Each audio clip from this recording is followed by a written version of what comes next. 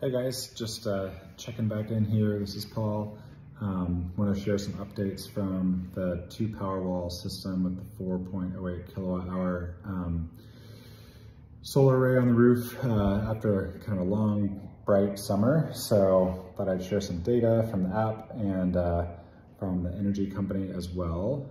And I think it was a super productive summer. So let me uh, hop right into it here. I just want to remind you guys that um, also if you're looking to get a Powerwall system, uh, you do get a few bucks off uh, if you use some of these links. I'll go ahead and pop mine in the bio there and we can help each other out, uh, get a little referral thing going. But otherwise, uh, let me pop to the data here in the app. So apologize for the kind of funny video recording here. I just thought I'd do it the easiest way possible. So the YouTube pros are frowning on me right now, but gotta do what you gotta do. All right, one second.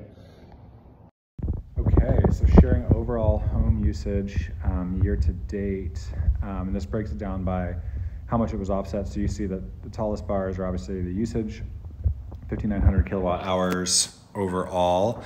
Um, you see things really kind of ramped down as it warmed up into May, uh, June, and then in July, August, uh, had peak AC usage. We had a pretty hot summer uh, starting in July for Washington State, I should say. Um, I know y'all are laughing. So, um, notable too, uh, the green is the Powerwall um, offsetting usage. Now, I had it on 100% backup since we have net metering. We still get a good kickback from our energy company. Um, I had it on 100% backup until May because that's when we have less windstorms. I don't really care about backup as much. I ramped it down to 20% backup, so then the batteries are really charging, discharging, giving less back to the grid and kind of just keeping me off grid. Um, you know, use the energy we saved up at night. Uh, only export if the batteries are full.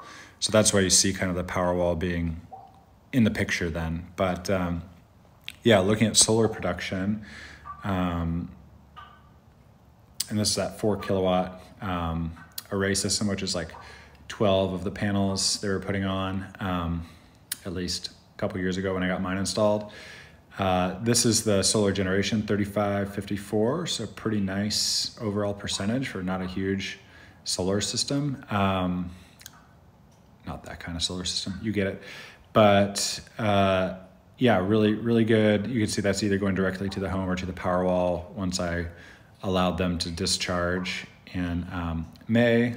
And then you can see Powerwall discharge summary right there um, with charging as well. And then finally, the net grid usage, which super low, obviously May, June, um, before the AC started coming on. So uh, jumping back to kind of like the Puget Sound Energy side, which is our utility provider. This is their little chart that they provide. Um, disregard the gas on the bottom, it doesn't affect that obviously, but you can check out the average daily kilowatt hours. Last year was 17.13, this year is 3.31. So uh, really liking that. And that even isn't really counting what was dumped back to the grid for net metering. So I got even more of an offset on top of that. But just for perspective, like July, August, um, in previous years, those bills were looking um, like a couple hundred bucks versus uh, now we're around $40 um, like a month um, in this area. So anyway, uh, pretty good stuff overall, and uh, looking forward to sharing more data as we went in the winter. Now I just switched them to 85% uh, reserve for 15% um, since we're in October now. So 15%, uh, um, you know, charge discharge cycle. So it'll be interesting to see how that kind of supplements going in, but literally no hiccups. Haven't touched the system. Um, everything's been functioning great. So. Uh, excited to share more as it comes up. Thank you guys so much. Have a good one.